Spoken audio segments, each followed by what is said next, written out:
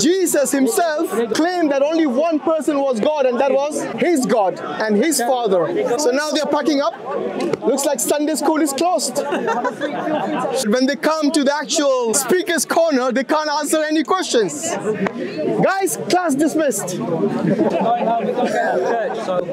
Oh, you go to church. Say by the church bell. Okay, anyway, look. Come with us. No, no, but what's the point of coming with you when you don't answer any questions? Trust me, you'll get better education here than any Sunday school you go to. Okay?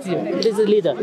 He's gonna ask the leader. Hi there, how are you? Yeah, he can ask you any question. How are you? My name is Hashim. What's your name? Peter. Peter. So I was gonna make a fool out of me right now, is it?